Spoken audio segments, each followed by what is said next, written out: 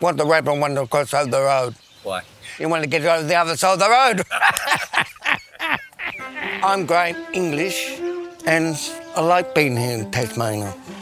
Graeme's been an integral part of the lodge. Everybody's friend. You feel happy with that, don't you? Yeah. I'm happy chappy.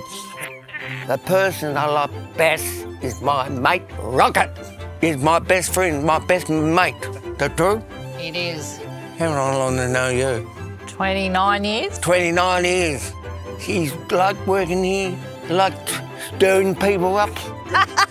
Well, I've been here for almost the same amount of time as Graeme. And I love her. I love her. That's lovely, Graeme. You're pretty good yourself.